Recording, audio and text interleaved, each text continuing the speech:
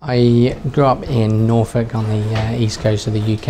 I then left and moved to London, um, kind of around about the age of sort of 21. Started working uh, in a London restaurant, small, but did some really nice food. And then I moved and decided to make a real jump and work at Restaurant Gordon Ramsay. And obviously meeting Clare was uh, kind of absolutely fantastic. After being a Restaurant Gordon Ramsay for a further three years, Clare has been talking about doing her own restaurant for a long time and the two things came together and it was kind of that natural progression for me to leave and work with Clare. In uh, 2017 we uh, opened Core in my role on a day-to-day -day basis, I look after the running of the kitchen and work with Rob and Clare to have the day-to-day -day running of the restaurant itself. Another big part of my role I see is working with my kitchen team, developing them and um, developing them into really great young chefs with an understanding of standards, you know, hard work, but in the end, this massive reward, and we kind of found a home at Core.